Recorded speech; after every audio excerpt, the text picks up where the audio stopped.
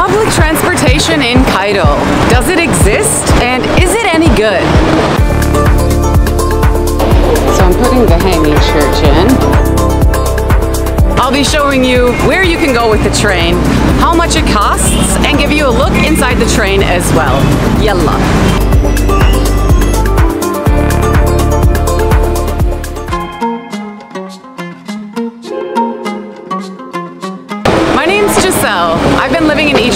Two and a half years, and today I'm going to be showing you Cairo's underground metro system, the subway.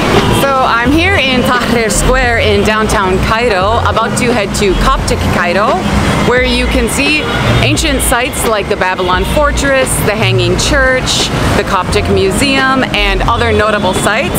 Right now I'm just outside Sadat Station, about to head down and hop on the train. Um, I'm going to be wearing my GoPro so that you can get a first person view of the subway. Um, I might have to cover it up a little bit because there is security in the entrance of the train, but other than that I will be filming hopefully unobstructed. So without further ado, yalla.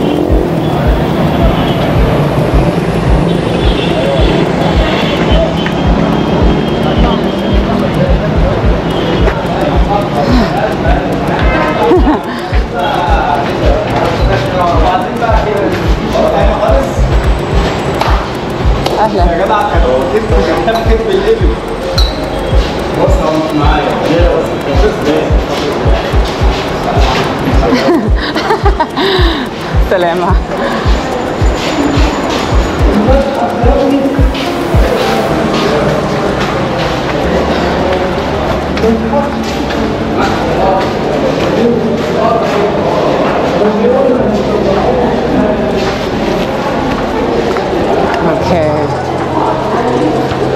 I just walked down the stairs and past security, but didn't film that.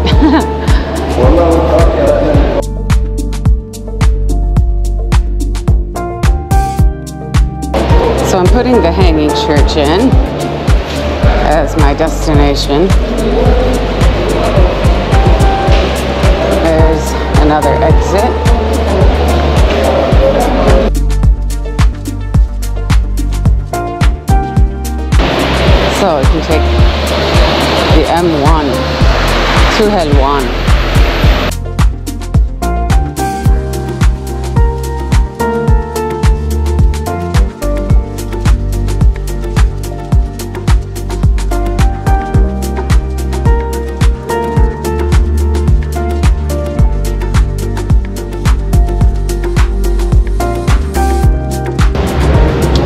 Margerges. Margerges. جيبك بكم؟ ستة فلوسك اللي في جيبك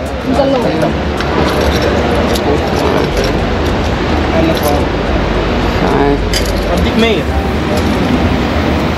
six. شكرا سلامة واحد قاعد من المنطقة.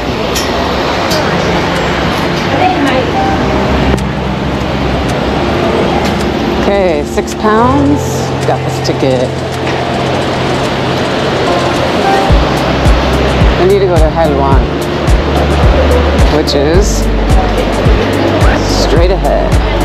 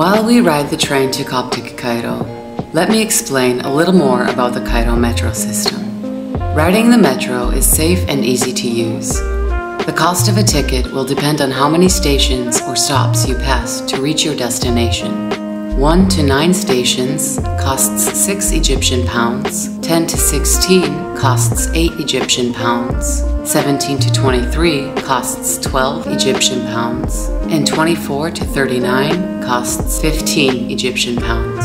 The Cairo Metro currently has three functioning lines, with another two lines being built, but still under construction and not currently operational. Different maps online show different colors for the lines, but the numbers are what is important here, and those remain the same regardless of color.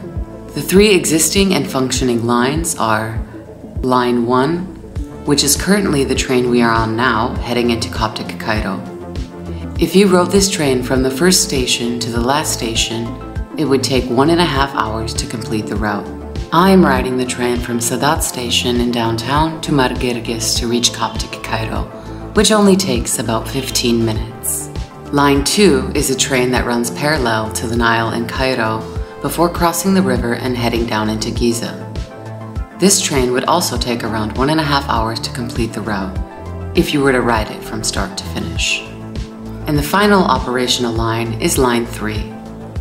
Line 3 is the newest of the three metro lines, with the majority of its stations laying on the eastern side of the Nile in Cairo. If you rode this train from start to finish, it would take around one hour. This is also the train which you can take to connect to the LRT, Cairo's new light rail transit system. The LRT is Egypt's first light, high-speed train and runs off electricity. You are able to connect from Line 3 to the LRT if you are interested in visiting Egypt's new administrative capital, though it is still under construction at the moment. However, once complete, it seems the new administrative capital will be an upscale and affluent district where the seat of Egypt's government will run the country. I've recently made a video about the new administrative capital. If you're interested in seeing that, I will leave a link up here.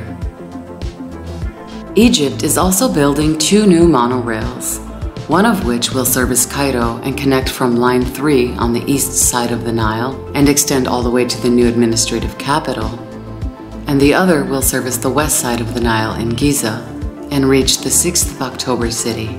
Completion dates are yet to be determined for these two new monorails. For visitors to the country, I must admit, the current existing metro lines do not reach many places that might be on a tourist's itinerary hit list.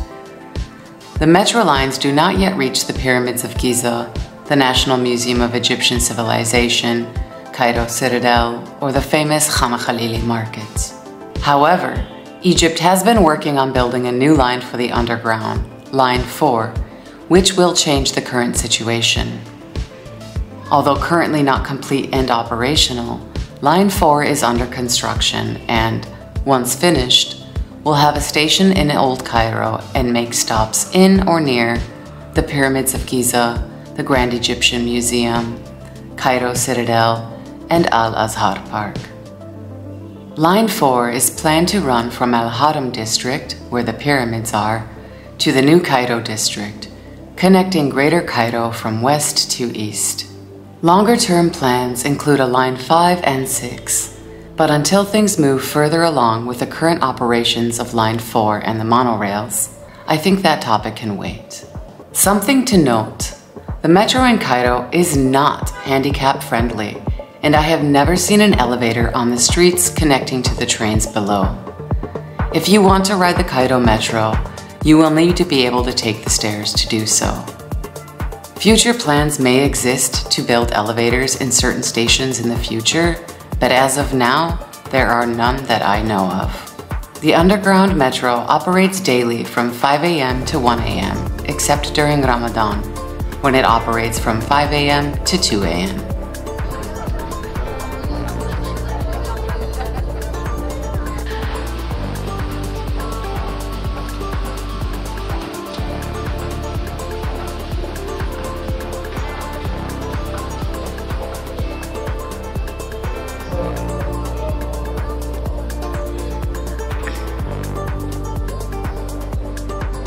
have arrived to Coptic Cairo.